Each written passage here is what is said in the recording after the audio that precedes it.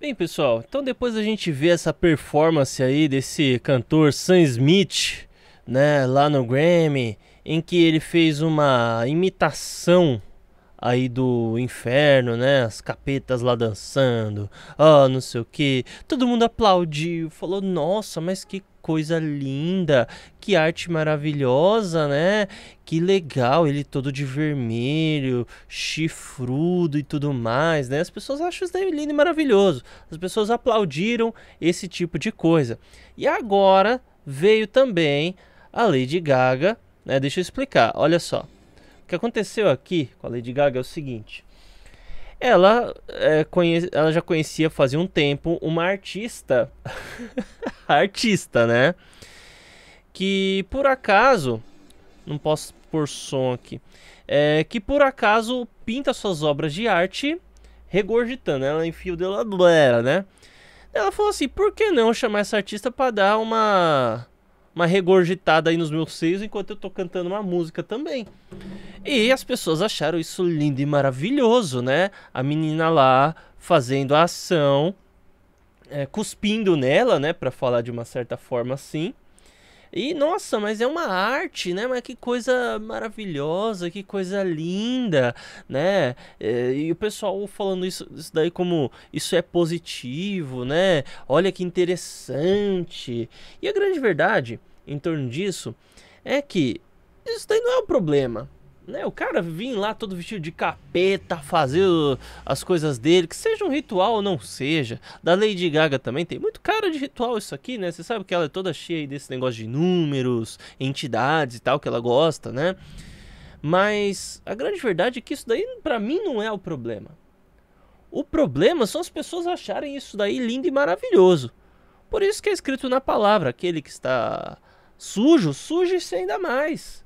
E aquele que está limpo, é, santifique-se ainda mais. Por quê? A, a, população aqui na Terra é daí para pior.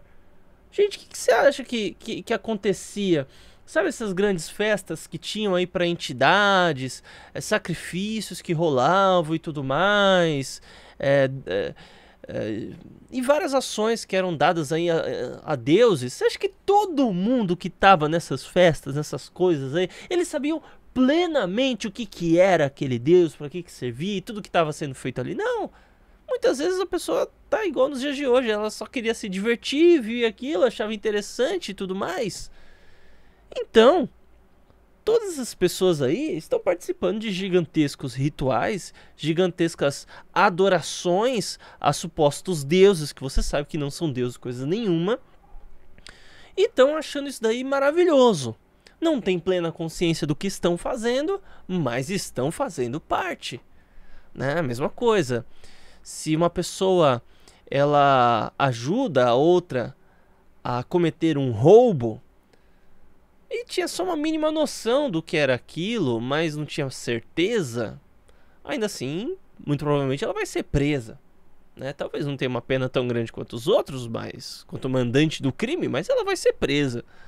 Né? É difícil você é, se contrata um cara lá, ó, eu preciso que você vá até lugar tal com um, um, disparador de projéteis na mão, adentre o banco e fique lá esperando. Só isso, só isso. Você ajuda a gente?